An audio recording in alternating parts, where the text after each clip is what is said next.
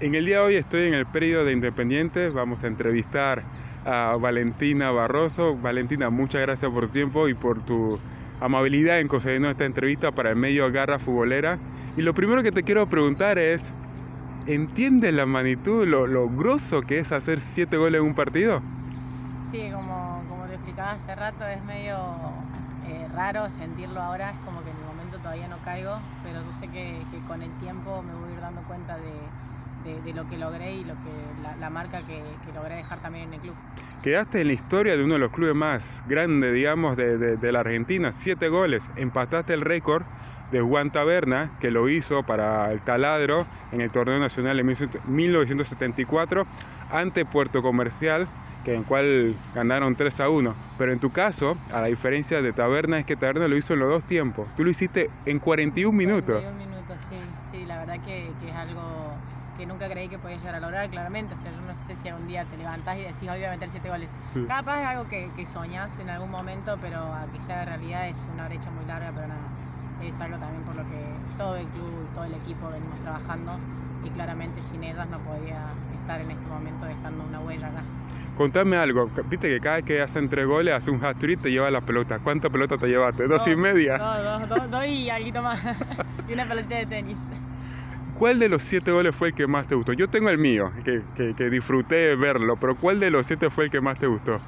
Me gustó el tercero, me gustó bastante. El segundo también, yo creo que hubo bastante variedad eh, en los goles y eso también eh, estuvo lindo, pero sí, no, me gustaron, me gustó el, el, tercero, me gustó bastante. El tercero fue al minuto 21, en la cual con una combinación, un buen control, un buen, digamos, eh, conducción de la pelota y la definición bárbara. Sí, sí, sí, la verdad que, que sí, es algo que, que, también venimos trabajando un montón y, y nada, estoy, estoy re contento. Muy bien, muy bien. Y el, el último gol fue, fue, de, de, fue un globito, fue una buena definición, fue el, Sí, uno de los, de los sí, últimos. Sí, sí, la verdad que es como que me, me preguntan por ahí la, ¿Sí? los goles y yo ni me acuerdo cuál fue el primero. Lo veo por ahí en los videos y sí me vuelvo a acordar, pero en el momento, no, en el momento yo ni siquiera llevaba la cuenta. Con eso te digo todo. Yo en el, en el, en el vestuario, cuando sí. terminé el primer tiempo, ahí me dijeron hiciste siete goles. Ah, ¿no, no, no había sacado no, la cuenta? No, no, saqué la cuenta. O sea, yo estaba tan metido en el partido y en lo que tenía que hacer que, que nada, no, no, no me di cuenta de, de, de, contar los goles. Conté hasta el tercero y ahí no conté más. Yo dije, bueno, me llevo una pelota.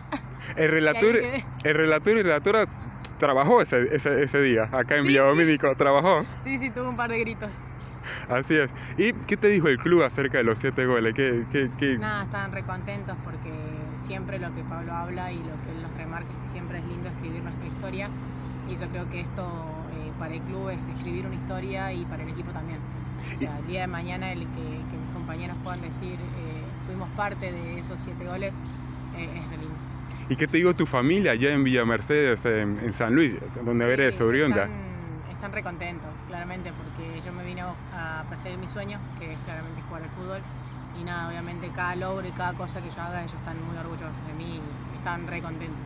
¿Y cuál es la, la señal, la, la, señal que hiciste al final de, de, los siete goles, que se hizo muy conocida popularmente? Ah, ¿La? Mi abuela. Ah, sí, explicando por qué. Abuela. ¿Por sí, tu abuela? ¿Cómo mi abuelita. Eh, se llama Celina, pero yo le hago la A porque es de abuela. Ya, ya, ya, quedó, porque ella siempre me decía que, que ella no me iba a llamar hasta que yo no le dedicara goles. Entonces ahora cada vez que hago goles se lo tengo que dedicar para que después de los partidos me llame. Y para toda la audiencia de Garra Futbolera, ¿cómo es la, la, la señal, el símbolo? Eh? Muy bien, muy bien. Bueno, a, a, tu abuela seguro chocha, ¿no? De sí, los... está recontenta también, feliz de, de, que yo esté acá.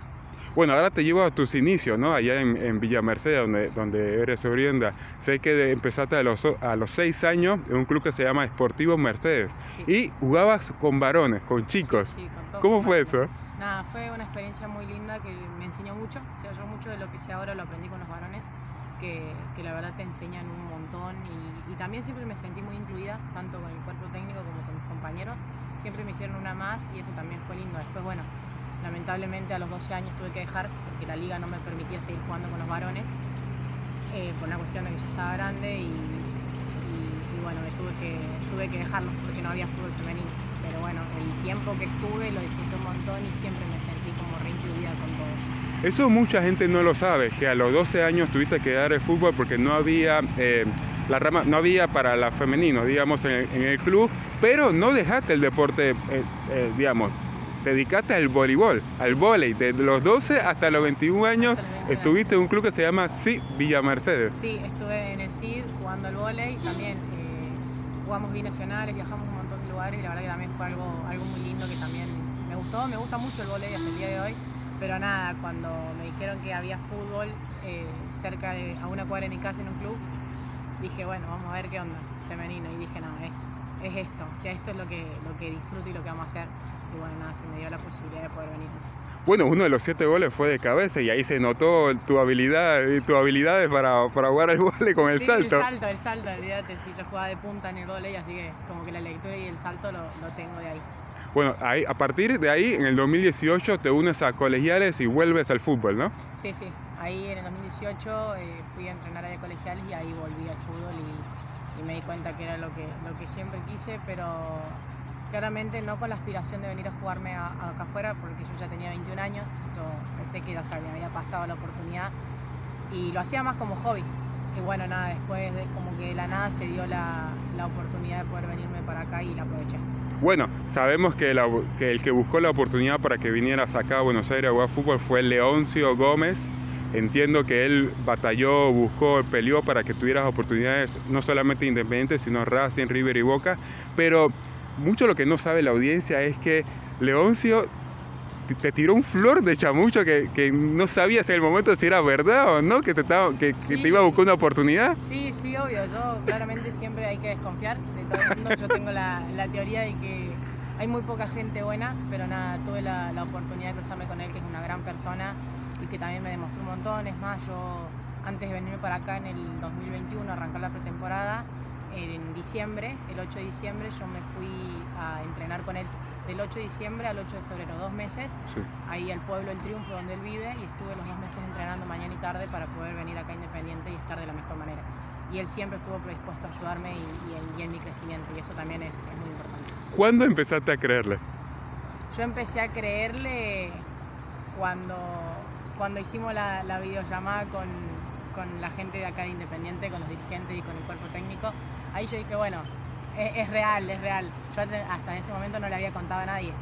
Mi familia no sabía, nadie sabía de, de la posibilidad que yo podía tener. Y nada, cuando yo vi que era algo que podía llegar a pasar, ahí le empecé a contar a mi familia. Bueno, supongo que estás muy agradecida con Leoncio porque partimos de un flor de chamucho a hacer alguna realidad, ¿no? Sí, sí, claramente siempre todo lo que, lo que yo hago y todos los logros también que, que tengo son dedicados a él.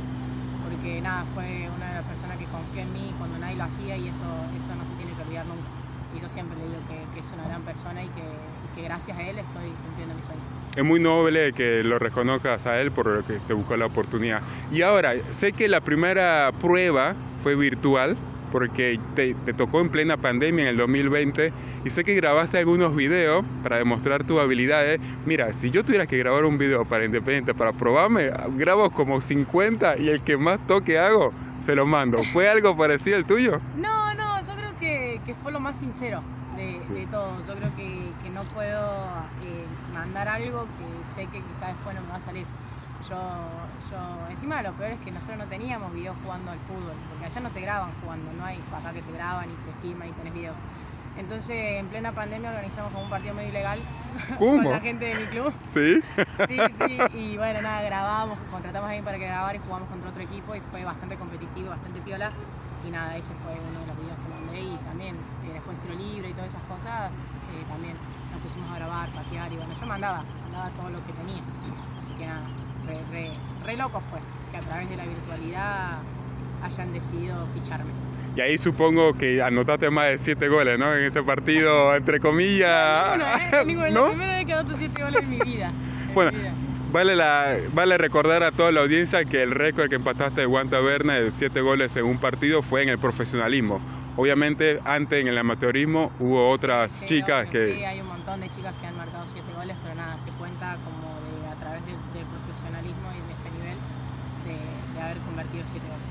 Bueno, llegas a Buenos Aires, te ficha Independiente y todas tus compañeras que hace un año atrás veías en la televisión, ahora eran tu compañeras. Sí, eso también es, es, re loco ver cómo, cómo quizás gente que, yo creía que nunca me iba a conocer para compartir una cancha, lo estoy haciendo y son mis amigas, son mis compañeras, son parte de, mi familia y eso es re lindo.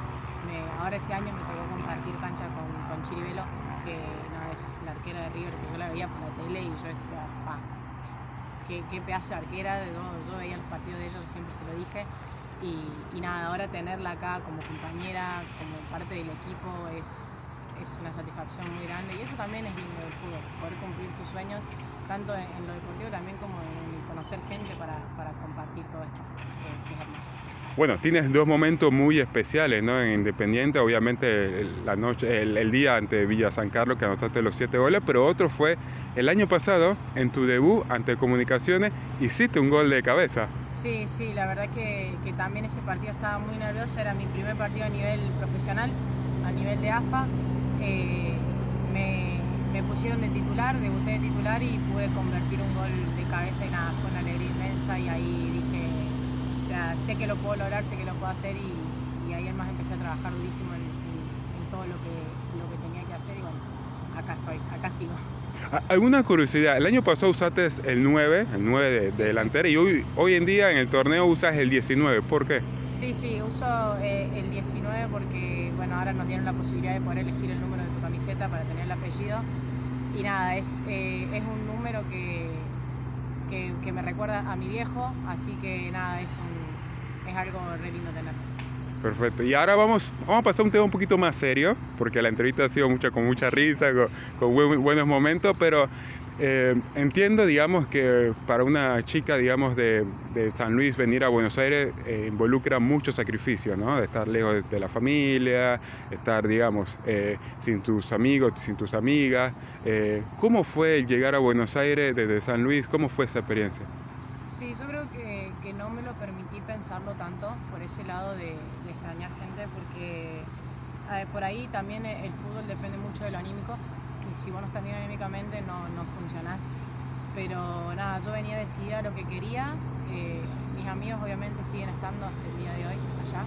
Me costó un poco la adaptación los primer, el primer tiempo, pero estaba tan convencida de venir a hacer lo que, lo que tenía que hacer, que era cumplir este sueño, que, que me vine y no lo dudé en, Obviamente se extraña, por ahí hay, te perdés fechas importantes, te perdés cumpleaños, te perdés muchas cosas, pero, pero nada, yo creo que, nada se compara con, con esta Hace dos años mirabas en la tele los partidos del fútbol femenino, hoy en día eres parte del torneo y hay muchas chicas del interior, de otras provincias, que te ven como un modelo, como una persona a seguir por todo el sacrificio que has hecho para venir a Buenos Aires. ¿Qué le dirías a todas esas chicas que quieren algún día cumplir el sueño que tú estás viviendo ahora? Sí, nada, yo siempre digo lo mismo que, que si alguien realmente lo desea, o sea, con todo el corazón, eh, es muy importante que se esfuerce por, por, conseguirlo y que no todo viene rápido. Eh, yo quizás este sueño lo tenía cuando era chica, después dejé de jugar, se me apagó, volví a jugar y nunca creí poder estar porque ya estaba grande y eso también es otro tema. La edad no es una limitación, porque yo con 22 años me vine a, a, jugar al fútbol acá, a cumplir mi sueño y, y nada, ahora estoy estoy súper contenta y agradecida con todo lo que me da, pero yo creo que va, va más que nada con el sacrificio con esfuerzo y sacrificio puedes llegar a, cumplir todos tus sueños que tengas. Bien, Independiente el año pasado llegó hasta cuartos, perdieron contra, un, Boca. contra Boca por la mínima, fue un partido peleado, fue disputado. Este año en el torneo marchan 11. Eh, ¿Cuál es la expectativa para este torneo para Independiente y cómo has visto estas 18 fechas que se han jugado del torneo? Yo creo que somos un equipo que tiene mucho para dar, pero nos falta mucho convencimiento de, saber que podemos estar, de que podemos darlo que podemos dar pelea. También eh, teniendo en cuenta que es un equipo nuevo, somos muchas jugadoras, son muchas jugadoras que, empezaron este año con nosotras, es volver a afianzar el grupo, volver a afianzar el equipo, volver a conocerse, cambiar los sistemas de juego, ver qué nos conviene más. Eso también eh, lleva tiempo y es un proceso que quizás el año pasado no nos pasó porque ya nos conocíamos un poco más todas, se fueron muchísimas jugadoras de acá Independiente, del equipo titular se han herido nueve, o sea, de, las once que éramos. Y, nada, pero, pero nosotros tratamos de trabajar en, lo personal, de, no negociar nada y tratar de, dejar a Independiente en estas últimas fechas con, los tres puntos de, cada partido y, quedarnos en una posición dentro de todo aceptable, que, que, yo creo que nos merecemos por todo el trabajo duro que venimos haciendo y por ahí los resultados no se ven reflejados pero, pero nada, tenemos muchísimo para dar y, obviamente para el año que viene tenemos unas expectativas muchísimo más altas. ¿Se podría decir que para este presente Independiente está en reconstrucción? Sí, sí, claramente está en reconstrucción, estamos en, un proceso de, aprendizaje de, un montón de cosas que, que, lleva tiempo porque es un periodo de adaptación para muchas de las jugadoras que vienen de otros clubes que por ahí tenían juegos distintos y bueno, nada, volver a, a conocerse es, por ahí un poco complicado, pero bueno, se, puede sacar adelante. Valentina, sabemos que terminas tu contrato con el Rojo este año. ¿Cuál es tu expectativa meta? ¿Seguir con el Rojo? Sí, dentro de mis posibilidades está la, posibilidad de seguir con Independiente. Obviamente el club eh, después tenemos que ver los términos. Pero nada, me, encantaría seguir en este club, seguir defendiendo esta camiseta. Es, le tengo un cariño muy grande a Independiente, es mi primer club a nivel de AFA. Así que nada, eh, mi idea sí claramente es seguir, pero bueno, hay que ver eh, de acá a fin de año cómo siguen las cosas. Y más allá de, digamos, de, este contrato que termina este año y, la expectativa de una renovación o no, ¿cuál es tu sueño como futbolista? No, yo creo que, mi sueño, obviamente todo jugador aspira a vestir la camiseta de la selección, pero mi sueño siempre es eh, superar, superarme y, dejar siempre a, mi equipo en, lo más alto. Yo quiero salir campeona, eh, pero obviamente el, vestir la selección es una ilusión muy linda y es un sueño que yo creo que todo futbolista tiene y por lo que lucha y por lo que entrena y por lo que trabaja. Pero, pero nada, obviamente mi, sueño es ese, salir campeón con el club, eh, tener la posibilidad de irme a jugar afuera. Son muchos los sueños, pero tengo tiempo y, nada, es, es cuestión de, paso a paso. Y una cosita más, porque sabíamos que cuando iniciaste en el fútbol en Villa Mercedes no había para el fútbol para femenino, hoy en día sí. ¿Consideras que tú, fuiste una de las propulsoras, digamos, de, que dio inicio a este cambio allá? Sí, yo creo que tanto yo como Martina del Treco, que está jugando en River, Nuria Martínez, que también está acá Independiente, somos unas eh, de las jugadoras que hicimos eh, lo posible de poder despertar un sueño en alguna de las nenas que se abran escuelitas de, fútbol femenino, que empiece a haber su 16, que empiece a haber reserva, que empiece a haber un montón de cosas de, donde las nenas puedan disfrutarlo, que, ya dejó de verse como un tabú, que antes quizá el fútbol femenino lo era, que si jugaba era una marimacho, que si jugaba era un varoncito, que...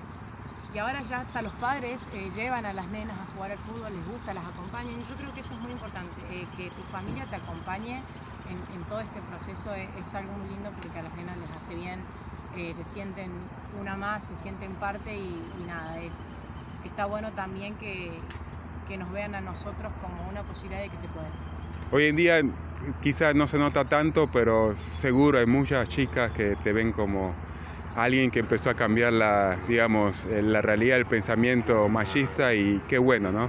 Sí, nosotros siempre pensamos eso, yo creo que, que nosotros estamos en un momento de, de bastantes privilegios también eh, y estamos luchando para que esto siga, para que esto avance, para que el día de mañana eh, una nena, una chica pueda vivir de esto, vivir solamente del fútbol femenino, que es por lo que se trabaja. Pero nada, dentro de poco yo creo que todo eso va a cambiar porque está cambiando bastante rápido y nada, es, es muy lindo.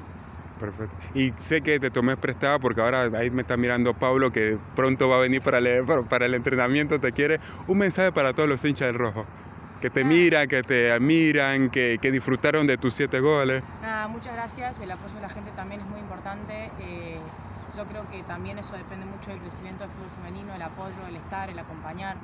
Y, nada, claramente agradecida a Independiente por, todas las oportunidades que me dio, por, confiar en mí desde el primer momento y por estar siempre dispuesto a, a nosotras para trabajar y para seguir creciendo. Muchas gracias Valentina y muchas gracias a todo el equipo de prensa de Independiente de permitirme hacerte la entrevista en el propio predio de Villa Domínico donde entrenas todos los días. Sí, no, muchas gracias a vos también por acercarte y por hacer esto visible, por eso también ayuda un montón. Cada, cada persona que se acerca, que habla, que, aporta sobre el tema, el fútbol femenino es, es.